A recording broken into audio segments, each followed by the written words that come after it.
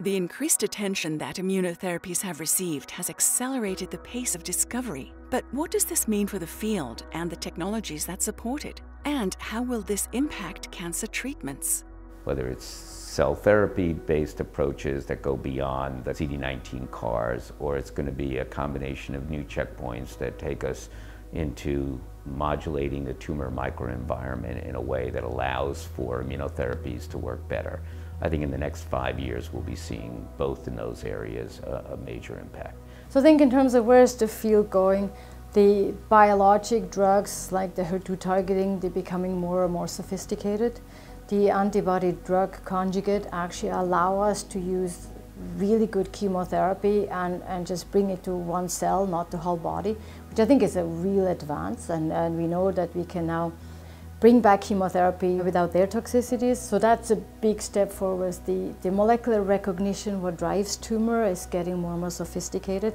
I think immunotherapy, not only targeting the tumor, but targeting the immune environment to, to help engage in tumor killing and tumor immune surveillance is, is really just in its infancy and, and going, going really well.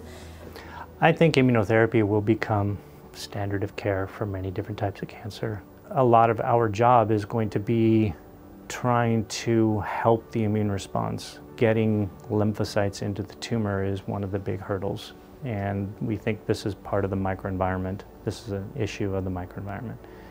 And not only growth factors and other cytokines secreted by tumor cells, but also growth factor cytokines secreted by these myeloid cells that come in to the tumor and change the quality and the quantity of T cells. And I think in the next five years, we're going to start to understand more about this and how we can enhance the immune response and bring more T cells that are functionally active. And I think that will come about from preclinical understanding. And I think there's going to be a whole series of new inhibitors and drugs that will both activate, you know, on the positive side and block negative pathways. Um, we haven't looked at metabolic and anti-metabolites and how we did the lipid cycles and the glucose cycles coming in. And, and you know, patients always had this, this, idea that uh, sugar and fat is bad, and it may be, but we have never really been able to exploit this pharmacologically. And then I think another important part that is sort of like a fallout of all of this, we for the first time have a solid understanding who has hereditary cancer mutations. Know, we have now an easy and cheap way of, of looking at patients' uh, germline genetics. We probably, about 2 to 3% of, of the general population has a mutation that predisposes them to cancer. So this allows us to do things. This allows us to do prevention studies that are really catered to those at high risk, rather than doing prevention study in the general population where we have to study 13,000 women to benefit 80, and that's what we did in breast cancer, right? So if you do prevention studies in, in patients with BRCA mutation, where the risk of breast cancer is 70% over lifetime, that's a very different way of doing it. The, the recognition of hereditary mutation also allows us to actually eliminate such mutations from the gene pool. So we could, in certain families, actually eradicate cancer. So it's, it's not a pipe dream. It still needs a lot of work but it's a very engaged and excited community to, to work in, so it's, it's quite amazing. I'm really excited about the, the innovations in the microbiome, the humanized mice. These are all interesting product lines that we're developing. What's to come in the next 10 years? Where should we be thinking in the next 10 years? And I think the concept of interception is very compelling. We commonly think of cancer therapies today as a reactive treatment. We get a diagnosis, then we enable a treatment plan, and, and we develop drugs that conform to this methodology. What if we could understand the human physiology, the development of tumors, the, leverage the informatics and machine learning that's becoming the rapid innovation in scientific drug discovery to get out in front of tumors from developing at all?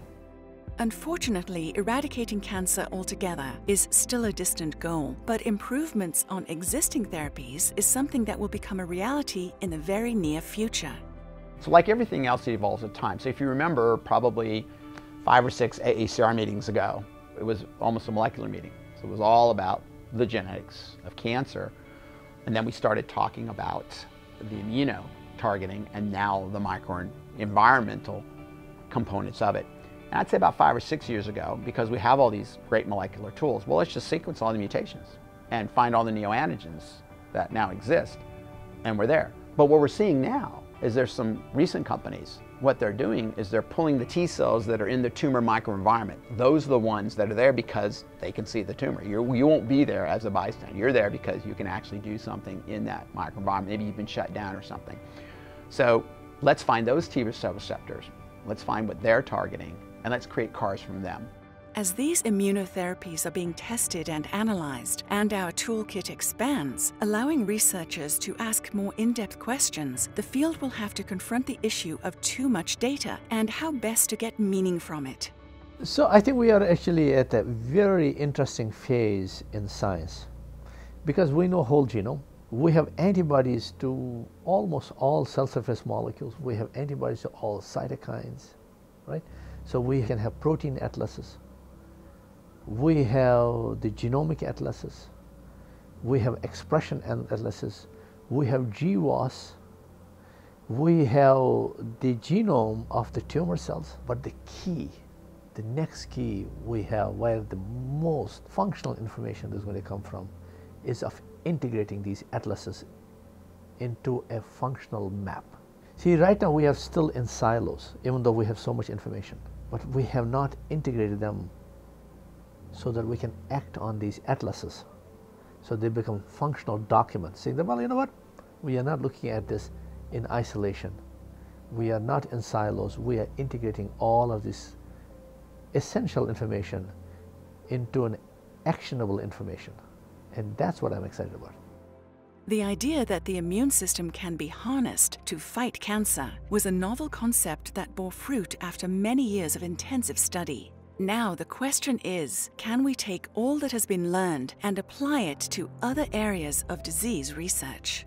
If I look out 10 years and I look at where we are now in understanding disease in general, what we've come to appreciate is that in everything from diabetes, obesity, type 2 diabetes, to, to heart disease, to brain dementias, the importance of the immune system, its inflammatory process that that exacerbates even the genetically controlled disease like Huntington's. That this idea that the immune system is really at the core of so many diseases, you're going to start seeing more and more immunotherapy being used in non-immune diseases. And so yes, we'll be working in infectious disease, yes, in cancer, but we're going to be working in Alzheimer's, we're going to be working in ALS, we're going to be working in muscular dystrophy, and trying to use modifiers of the immune system, cells and the like, to deliver payloads, to help repair tissue, to help modify inflammation. And if I look 10 years from now, there'll be more activity of immunotherapeutic drugs outside of immune diseases than inside immune diseases. And I think that's going to be the next phase of this, this whole evolution of how we understand the immune system.